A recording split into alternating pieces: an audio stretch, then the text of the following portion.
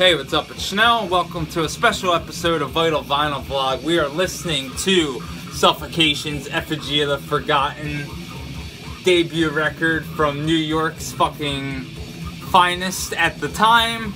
I am not a fan of the new album, which is why I was listening to this pretty much all morning, but I'll go into a whole thing about why I do not like the new Suffocation album next week because I'm actually gonna do some research. And this is a special episode for a fucking reason. And it kind of has something to do with the new Suffocation, the new Broken Hope, the new Dying Fetus. I haven't heard the new Broken Hope yet, but the new Dying Fetus I also thought was boring. It just had nothing that I was really stoked on. Now, I pre-ordered this and the you know, the actual date of release is July 26th. So when the new Temple of Void album showed up in my doorstep, Lords of Death on Shadow Kingdom and Hell's Headbangers Records, I was like, what the fuck? Did somebody like accidentally ship this out early or something? And I hit the band up and they were like, enjoy. So I don't know what that means, but fuck yeah, Temple of Void. I've been a fan of this band since the beginning, and seriously, like you can ask. Well, my friend is he just got brain surgery yesterday, and for those of you that do care, um, my buddy Chris is doing well. He's in ICU for another day, they think, and then he has to.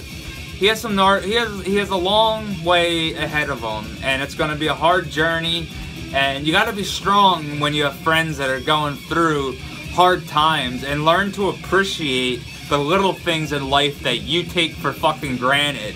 Like getting a killer fucking death metal album in the mail.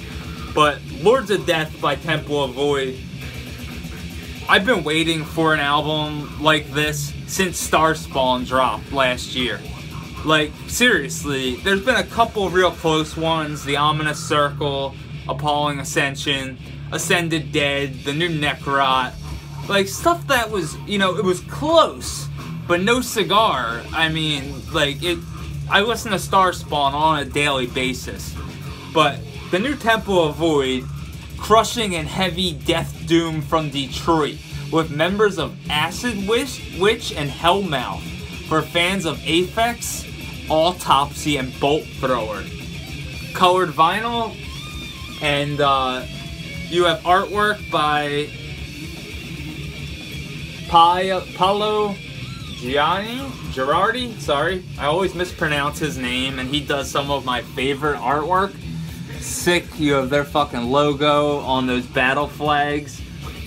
It's so fucking sick. It really reminds me of the trench rot artwork, but just like a lot more trippy and like Dan Seagravy, but also at the same time like Girardi kind of has his own style to begin with, so that really really captures it. And this is available through Shadow Kingdom Records and Hell's Headbangers. And uh, the band's a five piece, and supposedly they all met lifting weights.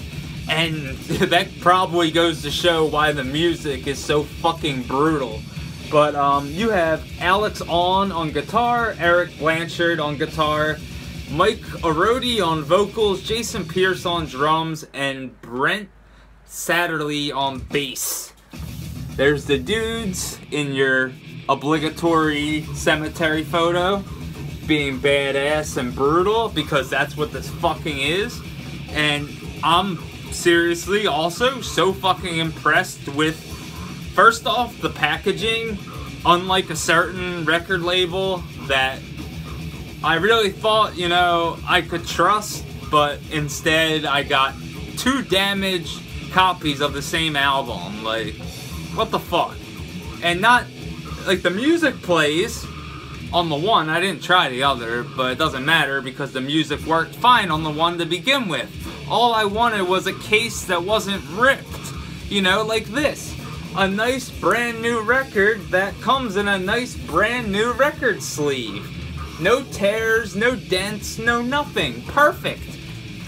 And just look at this color. Like, this is amazing because when, like I said, I normally don't get excited over colored vinyl, but there was an option, black or colored. So I thought I was pre-ordering it early.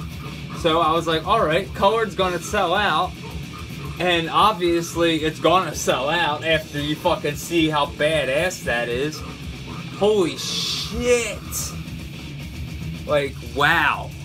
It's just so impressive. And Metal of Death, Life of Doom. Hell yeah, like that's a fucking slogan to live by. Full frequency stereophonic sound, high fidelity long player. For best results, play loud. 33 RPMs. Fucking A. And that's what this seriously is. I blasted the hell out of this until my hair grew five extra inches. And I also learned from the Mighty Grim Trash Can that I was fucking up big time. So in case you start noticing, I am putting my records back the proper, non-lazy way. But let's take a look at the lyric sheet and these live band photos because uh, I hit these guys up as soon as this came in the mail and I got done listening to it because uh, I went on their Bandcamp and realized that, you know, this is almost a month early. So I was just, you know, kind of interested in, you know, how come it showed up early and stuff. And I wasn't complaining at all. I was just like, you know, a little bit like, like, hey, like, you guys know you sent me the album like a month in advance and they were just like, yo, thanks for the support. And that's all they said. They didn't really respond back. And then I listened to the album and I was like, yo, you legit have like the album of the year right now on your hands. Like, no bullshit. You have a couple competitors in the death metal field. And they just said, like, LOL, thank you. And that was it. Like, so, like, fuck yeah. And they also said they might play Philly. Like, so hell yeah. But what you get here is seriously a complete and total package of killer, crushing, old school fucking death metal. I mean, like this is white t-shirt death metal at its fucking finest. Next to Blood Incantation when it comes to the white t-shirts. But it starts off with an instrumental the charnel unearthing, and then you go into the brutal fucking assault that is Wretched Banquet.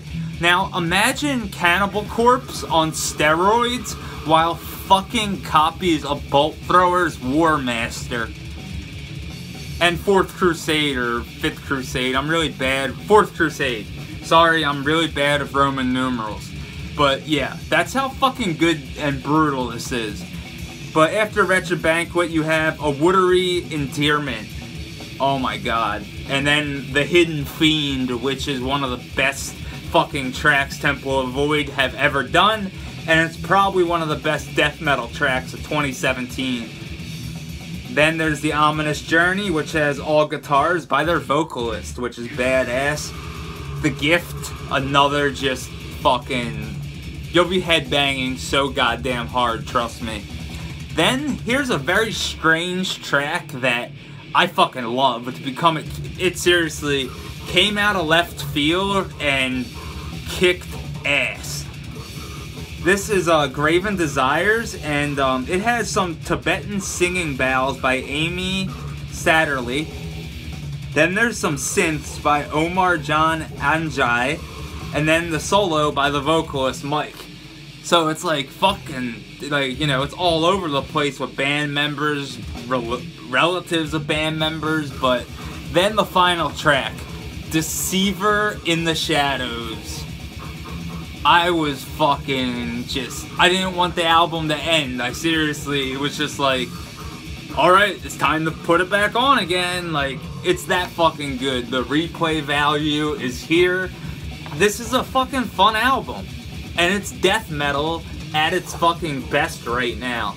This goes off to show that you don't need to be in California, Colorado. You can be from Detroit and still put out some of the best fucking death metal I've heard this this year. Like seriously, I'm not just saying that. It's like the boy that cried wolf. I know I say it all the time, like this fucking rules, and you know, this really, really, seriously, like, you guys are gonna love this fucking album. If you haven't pre-ordered it yet, get on it because I, I can't get over how fucking good this is. Check out their logo. I like their logo a lot. It is not sketchy in any way, shape, or form. And you just have six, I mean, five awesome portraits of the band members below. Just amazing stuff here, seriously. And uh, Shadow Kingdom Records, that was an awesome packing job. This is such an awesome fucking vinyl layout. Just made out of that really nice cardboard material. Just fucking killer shit right here. Temple of Void, Lords of Death on Shadow Kingdom Records and Hell's Headbangers. I guess Hell, Hell's Headbangers is doing the tape or the CD. I'm not 100% sure, but I know Shadow Kingdom did the vinyl because that's who sent me the package was Shadow Kingdom Records. And again, that fucking Paolo Giardi artwork. Just look at that. Seriously. It's like Dan Seagrave took some acid. Amazing. Fucking amazing. And seriously, the bolt thrower worship is so on point. But like I said, it's like bolt thrower, but with Cannibal Corpse on fucking steroids. It's it's amazing. Every track, it, it's just a cohesive death metal release. From the intro to the acoustic track, just everything about it. It's just everything you could possibly want in a death metal album. Like that's why I was saying, like seriously, it's up there with Starspawn. Like when it comes to modern death metal classics, like this is gonna be on people's lists. This is gonna be on people's year-end lists. It's like th- this is just a fucking list maker. And again, let's just look at that artwork. Just absolute gorgeous and at the same time vicious and trippy and just surreal. War. Like this is what war metal to me always was. It was that bolt thrower, you know, hail of bullets. A lot of bands do it. Memoriam. Memoriam did a really good job, and that, that new album is really, really good for The Fallen. But this sounds like Bolt Thrower in their fucking prime. Like, seriously, I mean, I, I understand that Memoriam, like, pretty much is Bolt Thrower. I'm just saying, Temple of Void really, really stepped their game up and put out a record that I know I'm gonna be loving for years to come and that I just immediately needed to share with you guys because again, you guys are going to love Temple of Void, Lords of Death on Shadow Kingdom Records and Hell's Headbangers. And uh, real quick, um, Words and Music by Temple of Void, recorded at Mount Doom Studio, Warren, uh, Warren MI. I forget if that's Michigan or Minnesota, so sorry. but uh, September through December 2016. Engineered and mastered by Clyde Wilson. Cover painting by Paolo Giardi. Cover retouching by Clint Ford. Live photos by Marie Awn, Chris Betta, Michael Derrick, Dave Dominic, and Ashley Taylor.